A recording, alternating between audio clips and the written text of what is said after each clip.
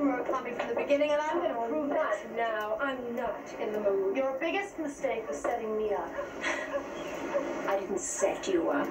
You were fired because you stole from the company. That has nothing to do with your fantasies about Murakami. For years, you have lied and cheated and conned people, and you've gotten away with it. But I am not going to let you get away with this. You're good. You really are. If I were rating you on the Abby scale, Abby being a 10, you'd be a 6, which is very good considering your youth and ignorance. Well, I don't judge things on the Abby scale, and neither does Greg. Don't count on it.